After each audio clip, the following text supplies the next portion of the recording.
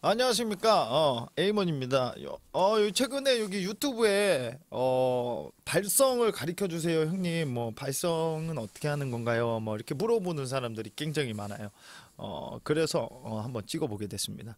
어 발성을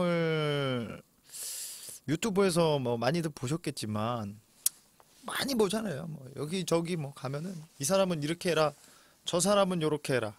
다 달라요 이게 이유가 뭔지 아십니까, 여러분? 다 다르게 노래를 부르니까. 예.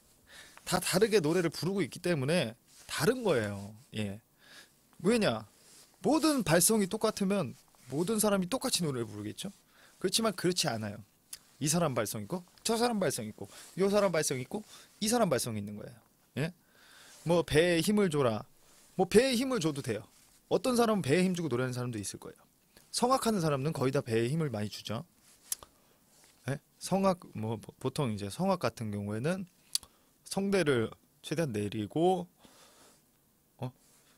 요 여기 있는 이 복식 호흡을 어, 최대한 모아서 에네르기 발을 뿌아시 예? 그러면 이제 어떤 소리가 나냐? 에! 아, 아 내려서 내려서 아! 에! 아!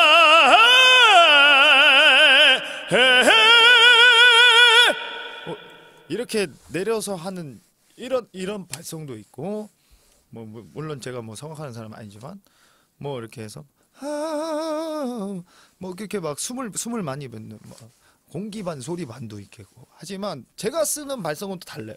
제가 쓰는 발성 같은 경우에는 어떤 식으로 저는 많이 쓰냐면 어 압력을 많이 줘서 하는 스타일이에요. 저는 이제 흉성을 많이 쓰는 사람인데 압력을 많이 불어넣어요. 어떤 느낌이냐면 제가 노래 부를 때 어떤 느낌이냐면 여러분이 어, 간접 체험할 수 있게 어, 말씀드리자면 그 저희가 카페 같은 데 가면 카페 같은 데 가면은 이렇게 뜨거운 커피에다가 조그만 빨대 주지 않습니까?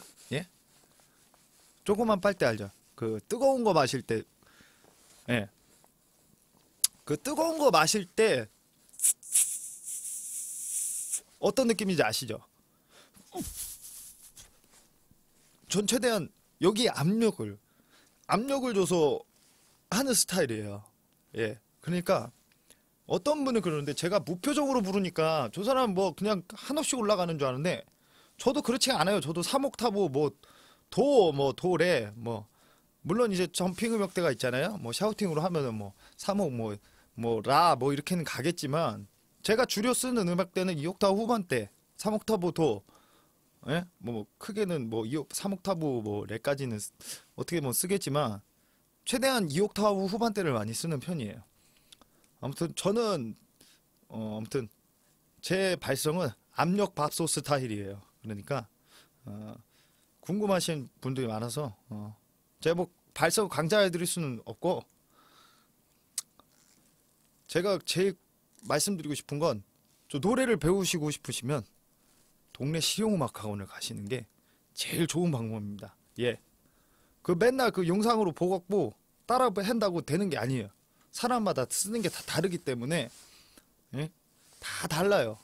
그러니까 여러분 동네 실용음악 학원으로 가서 본인의 발성으로 본인의 노래를 만드시기 바랍니다.